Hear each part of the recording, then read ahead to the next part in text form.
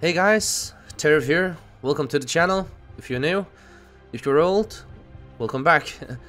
uh, today I wanted to give you a little secret of mine because uh, I've been playing around with Apex Legends settings for quite a while and I wanted to give you guys the best settings for this game because even me with a beastly PC and when I mean beastly, I say a GTX 1080 Ti, a AMD Ryzen Generation 7 2700X, uh, 32 gigabytes of RAM, and stuff like that. Even then, on Ultra, my game can run like shit.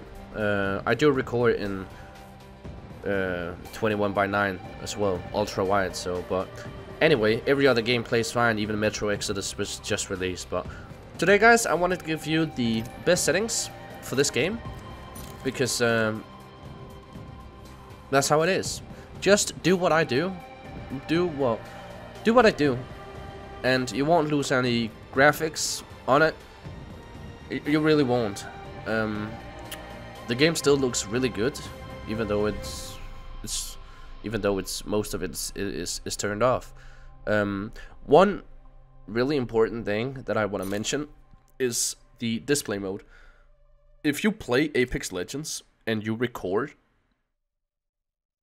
if you record like I do, you need to have this in full screen.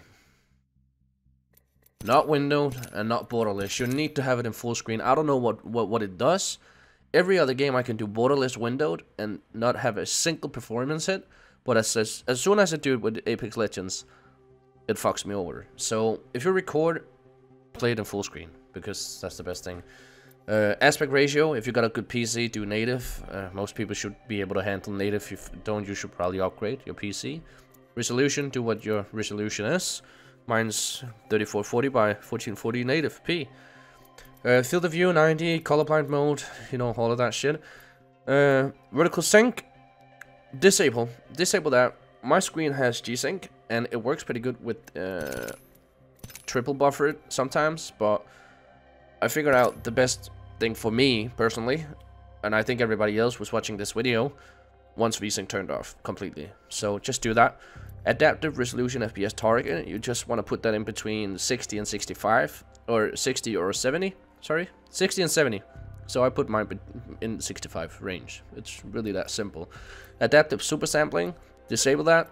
Anti-aliasing, TSAA, but you know it's grayed out because you disable the adaptive super sampling.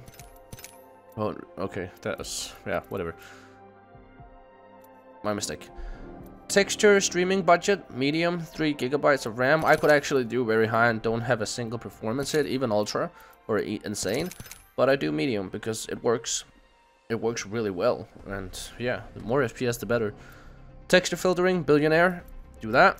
Ambient occlusion quality, disable that. Sun shadow coverage, low. Sun shadow detail, low. Spot shadow detail, disable that shit. Volumetric lighting, disable. And, deny and dynamic spot shadows, disable that as well. Model detail, medium. Effects detail, medium. And impact marks, low. And ragdolls on medium. And that, ladies and gentlemen, when you have copied my settings, applied, and you will have a you will have an amazing time playing Apex Legends. Remember? Yeah, there's some work going on around my apartment right now, so sorry for the noises, but it happens. Anyway, guys, if you do have a screen that goes to 1920 by 1080, do that. Mine's go up a lot further because my screen's a lot bigger. But yeah, just copy my settings and put your screen resolution to the highest that it can possibly go. And and I want to say thank you so much for watching. I know this video is like really fast and, and really on point, but I just wanted to get it out there for people to to be able to handle and play this game because I know a lot of people have performance issues with this game, but yeah, thank you so much for watching everybody.